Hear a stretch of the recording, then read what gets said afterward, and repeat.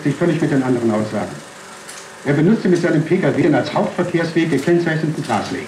Die Nebenstraße war ihm schlecht anzusehen. Plötzlich sei der Motorroller vor ihm gewesen. Aber bremst, riss der Steuer herum.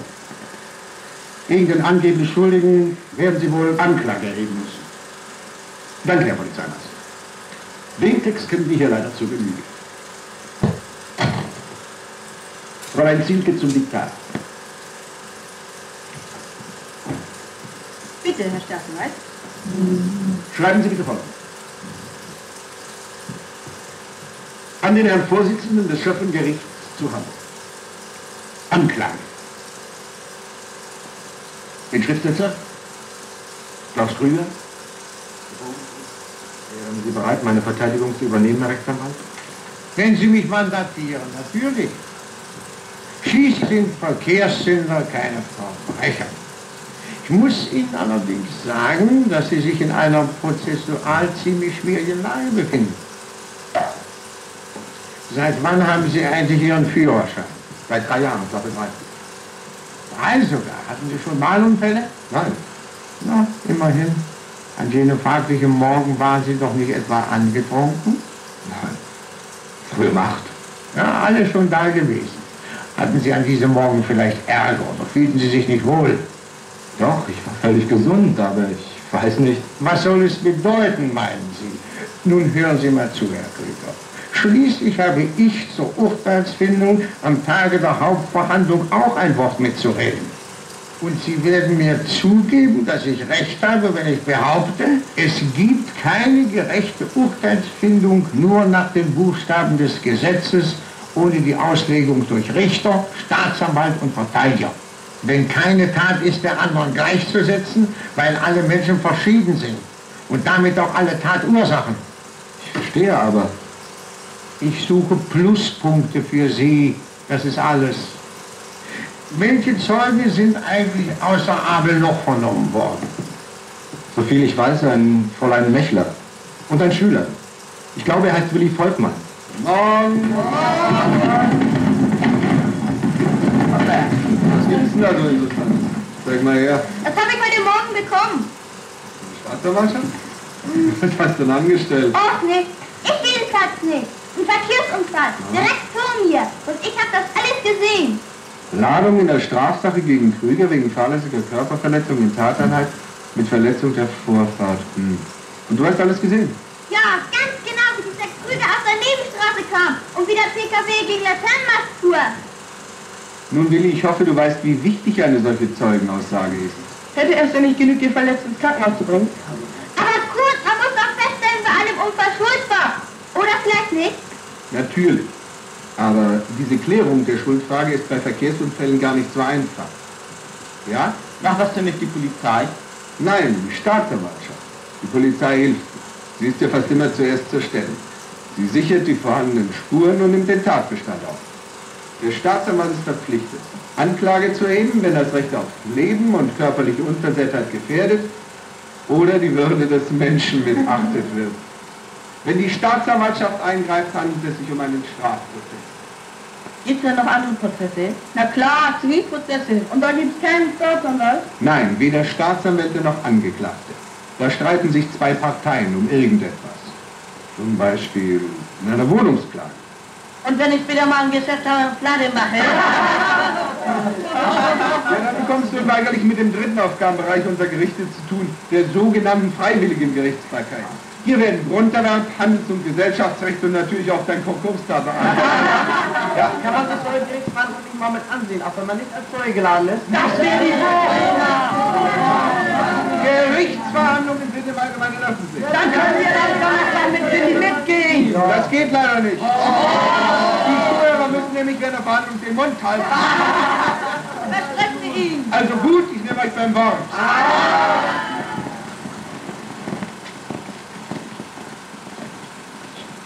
Was bedeutet dieses Schön? Dies Schö ist eine Abkürzung für Schöffengericht. Dem Berufsrichter sind Laienrichter beigegeben, sogenannte Schöffen. Die Schöffen sind gleichberechtigte Richter, die über Schuld und Strafmaß des Angeklagten mitentscheiden. Das möchte ich auch mal. Er muss über Jura studieren. Im Gegenteil, fast jeder unbescholtene Deutsche über 30 kann zum Schöffen berufen werden. Oh, es wird Zeit, die Schöffen gehen schon rein. Los!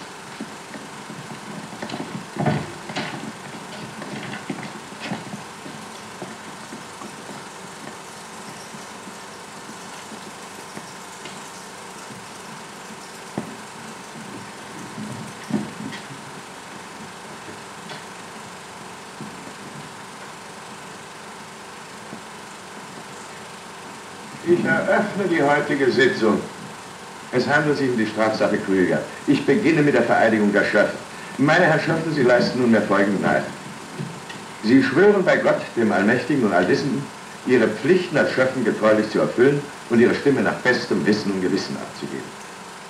Ich schwöre es, so wahr mir Gott helfe. Ich schwöre es. Ich bitte die Zeugen vorzutreten. Meine Damen, meine Herren, ich weise Sie darauf hin, dass Sie vor Gericht als Zeugen die reine Wahrheit und nur diese sagen müssen. Sie dürfen nichts verschweigen und nichts hinzufügen. Das Gericht kann Sie auf Ihre Aussage vereidigen. Mein Eid wird mit Zuchthaus bestraft. Ich bitte jetzt die Zeugen, den Sitzungssaal zu verlassen. Sie werden einzeln aufgerufen.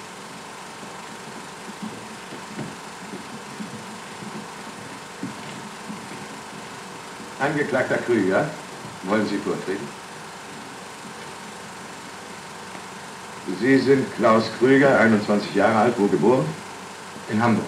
In Hamburg, wo Sie auch zur Schule gingen. Wie lange? Bis zur mittleren Reife. Was ist Ihr Vater von Beruf? Schriftsetzer. Leben Ihre Eltern noch? Ja. Sie gaben an, dass Sie auch Schriftsetzer seien. Der Beruf liegt also in der Familie. Haben Sie Geschwister? Nein. Hm. Keine Geschwister. Was taten Sie nach dem Schulbesuch? Ich war in einer Druckerei. Ja. Haben Sie da auch ausgelernt? Ja. Und was taten Sie dann?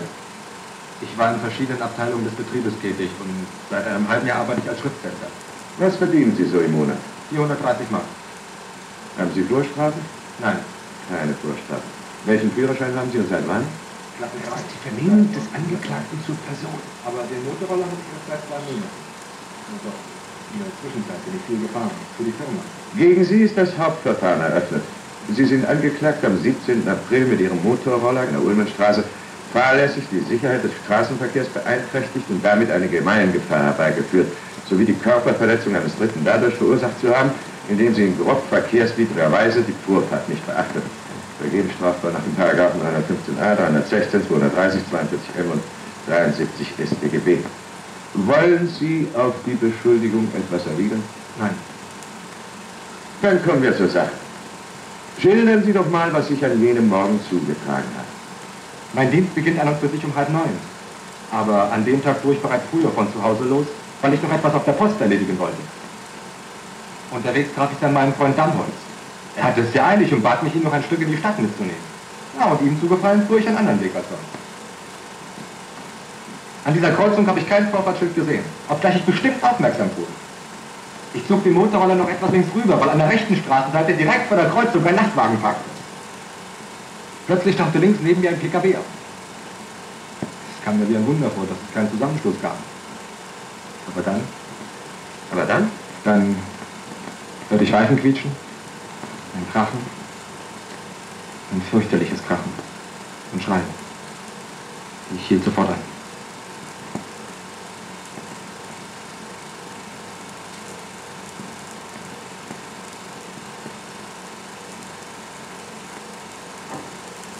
Sind noch Fragen an den Angeklagten?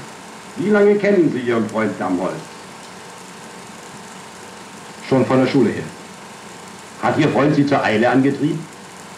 Als wir losfuhren, sagte er, er habe es furchtbar eilig. Nicht unmittelbar vor der Kreuzung. Nein. Herr Staatsanwalt? Wie schnell fuhren Sie etwa? Also 50 Stundenkilometer. Aber an der Ecke höchstens 35. Herr Verteidiger? Das Passieren Ihrer Kreuzung gehört also nicht zu Ihrer allmorgendlichen Fahrt zur Arbeit. Nein. Nun, dann nehmen Sie mal Platz. Wollen wir mal Herrn Volkmann bitten. Der Zeuge Willi Volkmann.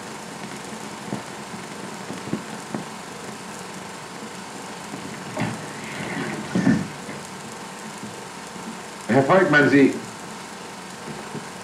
Du heißt mit Vornamen? Willi. Du bist Schüler, 15 Jahre alt. Ich muss dich darauf aufmerksam machen, dass du vor Gericht die reine Wahrheit sagen musst und nichts verschweigen darfst, sonst machst du dich strafbar.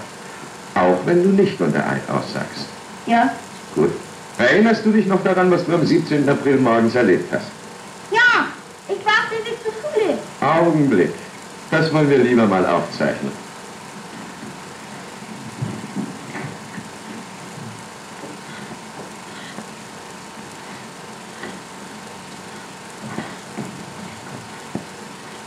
Hier also ist der Grasweg, aus dem der PKW kam. Da kreuzte die Ulmenstraße, aus der der Motorroller kam. Und du kamst aus dieser Richtung. Ja. Wollte gerade über die Ulmstraße, als von links hinter einer Möbelbar, Nun mal langsam. Wo stand der Möbelwagen? da an der Ecke. Nein, zwölf Meter vor der Ecke. Hier. Was meinst du? Wie schnell fuhr der Motorroller? Mhm. Ui, das ist schwer zu sagen. So schnell wie eine Straßenbahn, glaube ich. So 40 Sachen. Sind noch irgendwelche Fragen? Dann nimm bitte auf der Bank Platz. Fräulein Mechler, bitte. Die Zeugin Fräulein Mechler.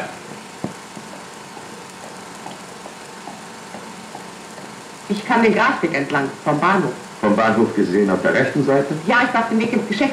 Ich gehe das Stück jeden Tag zweimal und weiß, dass die Kreuzung aufregend ist. Ich war noch auf dem Bürgersteig, als ich rechts die Motorroller sah. Der Fahrer sprach mit seinem Freund. Dann hörte ich den Volkswagen bremsen. Erst als es knallte, drehte ich mich um und da sah ich die Bescherung. Der Volkswagen hatte den Laternenfall erwischt. Es war entsetzlich. Hm, wie schnell fuhr der Motorroller etwa? Oh, gar nicht schnell. Der trödelte so mit 40 Stundenkilometern. So, brödelte. Mit 40 Stundenkilometer. Sind noch weitere Fragen an die Zeugin? Fräulein Mechler, sind Sie bereit, Ihre Aussage zu beschwören? Ja, Sie schwören bei Gott dem Allmächtigen und Allwissenden, dass Sie nach dem besten Wissen die reine Wahrheit gesagt haben und nichts verschwiegen haben. Heben Sie die rechte Hand und sprechen Sie mir nach. Ich schwöre es, so wahr mir Gott helfe. ich schwöre es. So wahr mir Gott helfe. Nehmen Sie bitte auf der Bank Platz. Nun bitte den Zeugen Dannholz. Ich war recht froh gewesen, dass Krüger mir zuliebe einen kleinen Umweg machen wollte. Denn als Vertreter müssen Sie wissen, da muss man sein Pensum immer pünktlich absolvieren. Ja, und ich hatte an dem Unglückstag die Zeit verschlafen. Ich sagte Klaus, dem Angeklagten, dass ich sehr eilig hätte. Und ab ging die Post. Ich meine, auf ging's. Die Kreuzung hatte ich als sehr belebt in Erinnerung. Ich sagte, Klaus, pass auf. Krüger drehte sich um und sagte irgendetwas. Und dann war plötzlich der PKW neben uns, der im letzten Moment herumgerissen wurde. Sonst, sonst hätte ich hier wohl nicht mehr erscheinen können. Über einen Monat lag ich im Spital. Fleischwunden, Prellungen und dieser komplizierte Schenkelbruch. Das Knie ist in Mitleidenschaft gezogen, sagen die Ärzte. Ich weiß nicht, ob ich je wieder ganz hergestellt werde. Oder ob das Bein steif bleibt.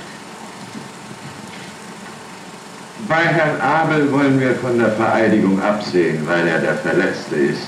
Ich bitte den Herrn Sachverständigen. Dr. Wieland, Hilly, 46 Jahre alt, Kraftfahrzeugsachverständiger, mit dem Angeklagten weder verwandt noch verschwägert. Aufgrund der Unfallskizze bin ich der Meinung, dass der Angeklagte das Vorfahrtsschild trotz des parkenden Möbelwagens hätte sehen müssen. Diese entscheidende Frage kann aber lediglich eine Im-Augenscheinnahme des Unfallortes beantworten. Danke. Machen wir also einen Ortstermin. Wir unterbrechen die Verhandlung und setzen sie übermorgen um 10 Uhr an Ort und Stelle fort.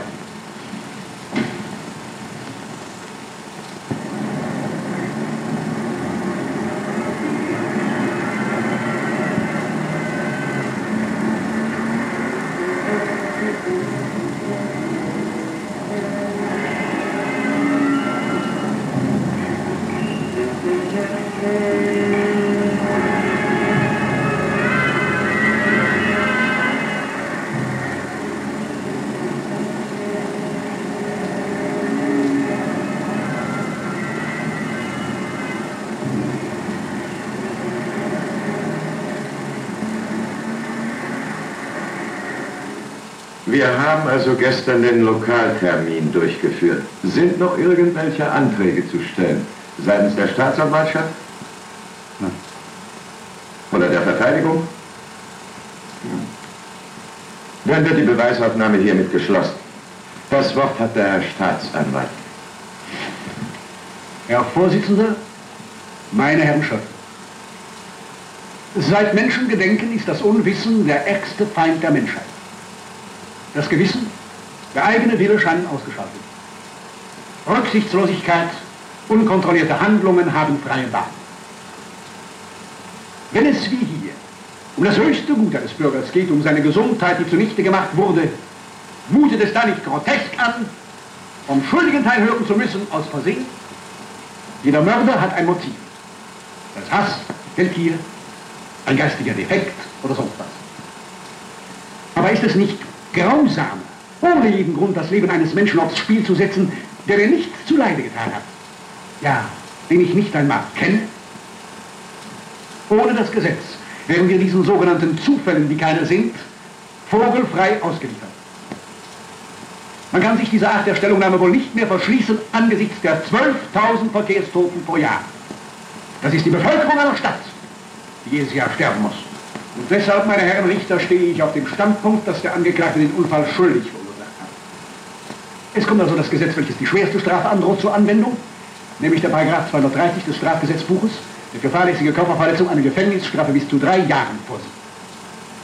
Ich beantrage deshalb die Verurteilung des Angeklagten zu einer Gefängnisstrafe von drei Monaten, sowie die Entziehung der Fahrerlaubnis auf ein Jahr, sowie die Einziehung des Führerscheins.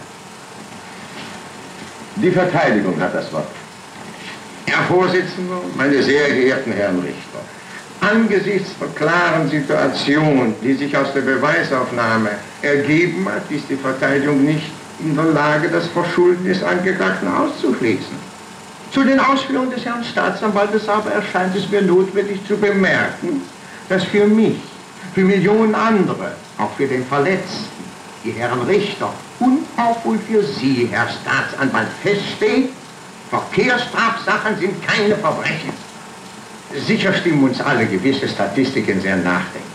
Aber das Verkehrswesen, auch der Straßenverkehr ist heute ein existenziell notwendiger, nicht aus der Welt zu schaffender Bestandteil der Zivilisation. Welcher Kraftfahrer will von sich behaupten, ihm könne nicht dasselbe passieren? Welcher Mensch ist Tag aus, Tag ein gleich reaktionsfähig? Dass das Versagen des Angeklagten ein Ausnahmefall war. Jawohl, meine Herren, ein Ausnahmefall und ein bisher einmaliger. Das beweist doch seine Unbescholtenheit, sein zielstrebiger, gerader Lebenswandel. Meine Herren, bedenken Sie bitte, dass dieser junge Mensch, der gerade volljährig geworden ist, das Leben noch vor sich hat. Ihre Strafzumessung kann es wesentlich beeinflussen. Schließlich haben wir einen Menschen vor uns, der bis auf dieses einzige Versagen unbescholten ist.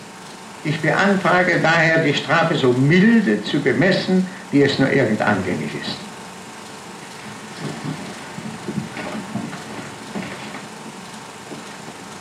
Angeklagter, Sie haben das letzte Wort.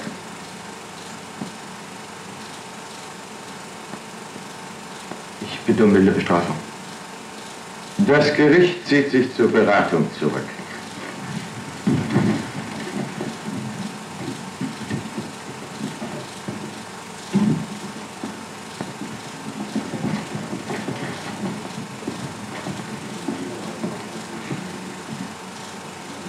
Ist das jetzt zu Ende, Mutti? Noch nicht. Was beraten die denn jetzt? Kann man da nicht zusehen? Nein, die Beratung findet hinter verschlossenen Türen statt. Es handelt sich dabei um eine erschöpfende Aussprache, damit sich jeder einzelne Richter sein Urteil bilden kann. Über jede Frage muss gesondert abgestimmt werden. Nur die Schuldfrage kann nach dem Strafgesetzbuch einheitlich entschieden werden. Achtung, es geht weiter, jetzt fällt das Urteil.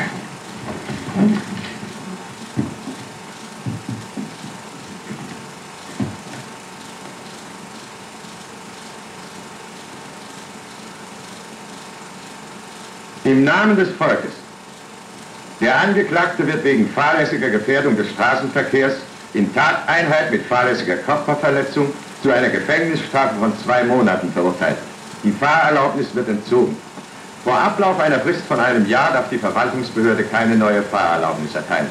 Der Führerschein wird eingezogen. Der Angeklagte hat die Kosten des Verfahrens zu tragen. Die Vollstreckung der Gefängnisstrafe wird zur Bewährung ausgesetzt. Das Verkehrsproblem ist heute Problem Nummer eins geworden. Nach dem Ergebnis der Beweisaufnahme ist die Schuld des Angeklagten einwandfrei.